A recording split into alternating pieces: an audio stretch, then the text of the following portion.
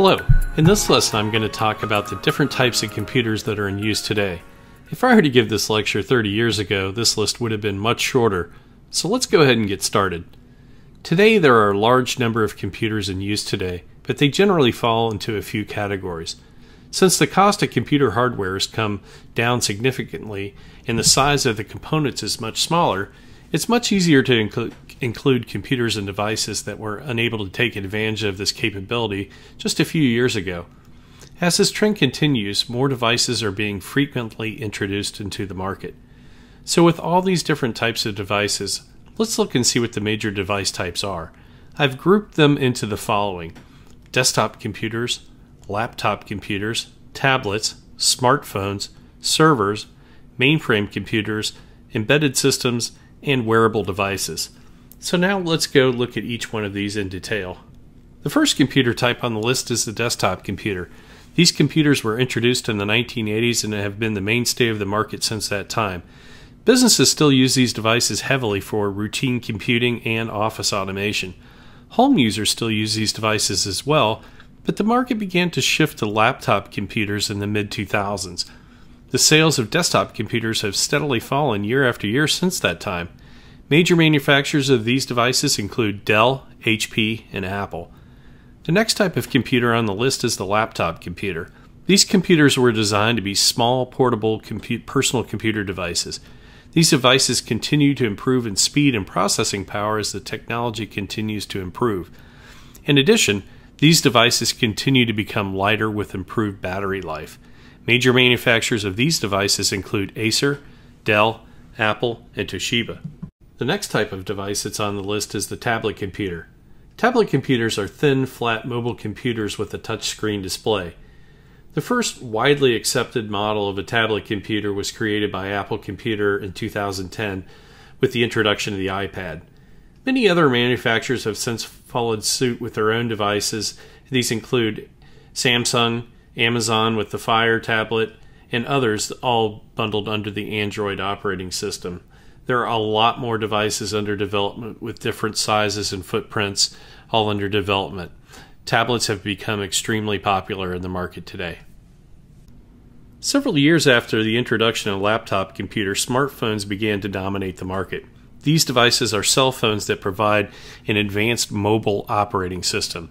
Smartphones provide the following basic capabilities a phone, a camera, which usually includes HD video as well, a GPS, a touchscreen, and many other uh, functions as well.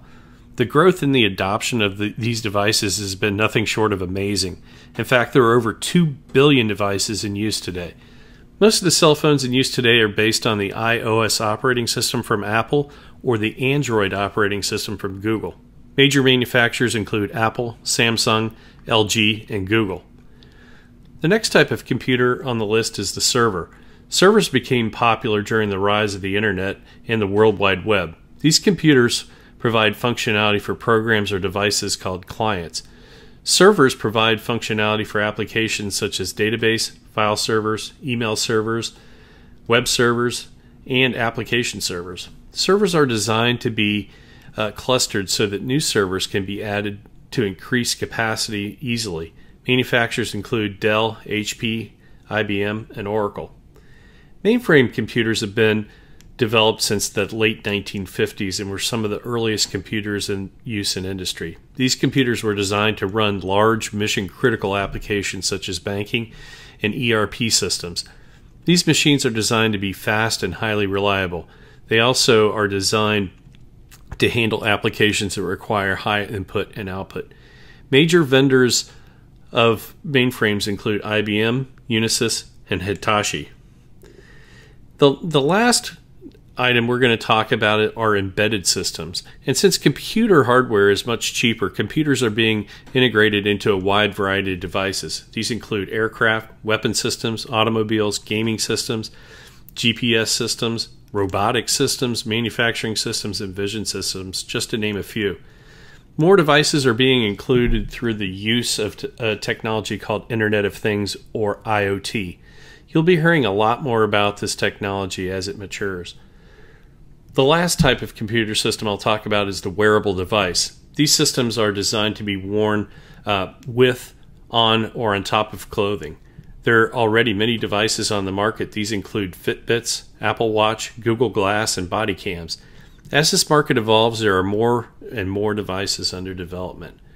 In summary, there's been an explosion of new devices that have been introduced over the last decade. The good news for programmers and IT workers is all of these devices require software to run them and provide opportunities for developers. The list of new devices is growing every day. As hardware prices continue to drop, these devices to be, continue to become better, cheaper, and faster. I hope this lesson has given you a good overview of the types of computers in use today. Thank you so much, and I'll see you in the next lesson. Goodbye.